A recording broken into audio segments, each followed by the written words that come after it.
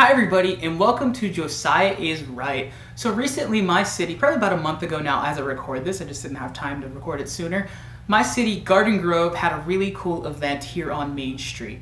So the event was Star Wars Rogue One shown on the actual street. Main Street is an awesome brick road that feels like a place out of another time. In this case, you could say that time is a galaxy far, far away and long time ago.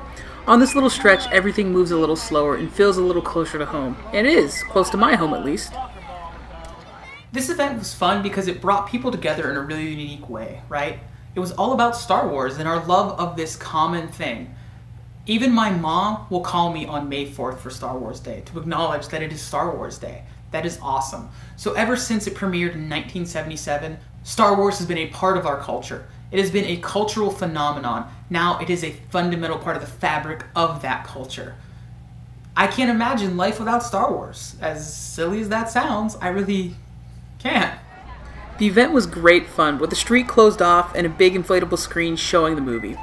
As it was a Star Wars event, every kid had a lightsaber and there were weird adults in costume.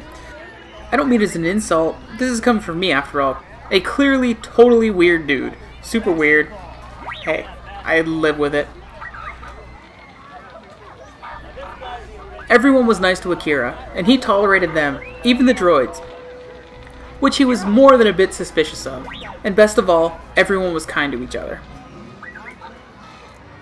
I've watched various Star Wars movies innumerable times on my own, but it's a movie that belongs in a shared space. So gather some friends, pop in a Star Wars movie, or activate your preferred streaming device because, let's be realistic, that's what we do now, but watch Star Wars together.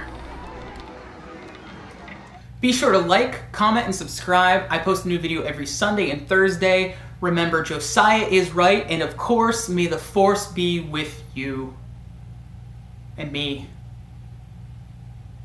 and all both of us.